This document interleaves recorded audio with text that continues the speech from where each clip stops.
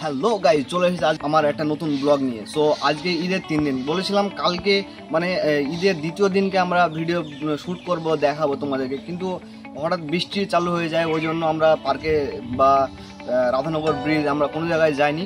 So আজকে ঈদের তিন দিন। তো, আজকে যাব আমরা রাধানগর ব্রিজে আজকে বৃষ্টি সেরকম কোনো নেই। আর মনে হচ্ছে না আকাশ দিকে তাকিয়েও যে বৃষ্টি আসবে বলে। তো, এখন আমরা যাব রাধানগর ব্রিজ সো একটু রেডি হতে হবে রেডিটা হয়ে তারপর আমরা যাব রাধানগর ব্রিজে তো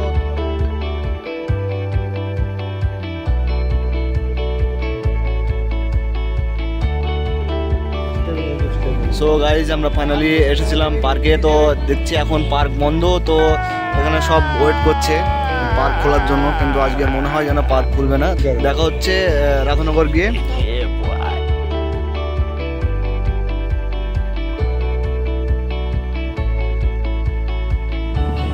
এত ভিড় আজ সত্যি ভিড় হয়েছে এত ভিড়